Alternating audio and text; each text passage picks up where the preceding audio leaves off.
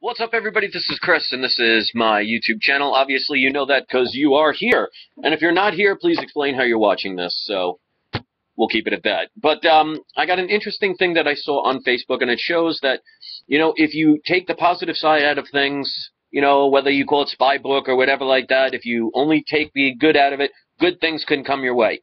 And somebody had posted a video of some anonymous per- person doing a different type of challenge.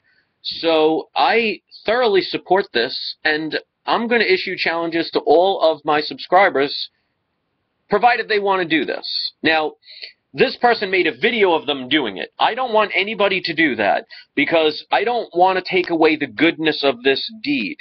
So I'm not going to film myself doing this and no one else should because this should not be about, oh, look how generous I am. I'm recording myself doing something. Do it because it's good. So this is what I want. Um, there was a person who went up to a homeless person didn't give well gave them some money but gave them water food and other things like that. So this is what i'm going to challenge my subscribers to do. And you don't have to film it. I don't want anybody filming this because this is not a look at me kind of thing. This is a spreading good around which will create more good I want you guys, as my challenge to my subscribers, those who care enough to do this, because it's not a requirement, to go find somebody in need and help them and then what I want you to do is, and you don't have to show your face, you don't have to show anything.